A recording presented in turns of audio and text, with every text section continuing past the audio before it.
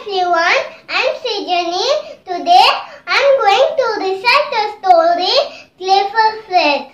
One is the hungry tiger. He is looking for food. He roams around the forest. He reaches a pond. He sees many frogs. He says, I will catch a fat one. Now no frog can run. When he catches a fat one, Fred, it's time for him to be dead. Fred says that I am very dirty. First, I wash myself, then you can eat me. Tony says, okay, you can go and wash yourself. Come back soon because I am very hungry. Jumps into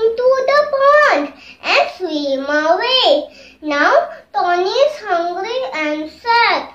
Bye bye says the clever fish. Thank you.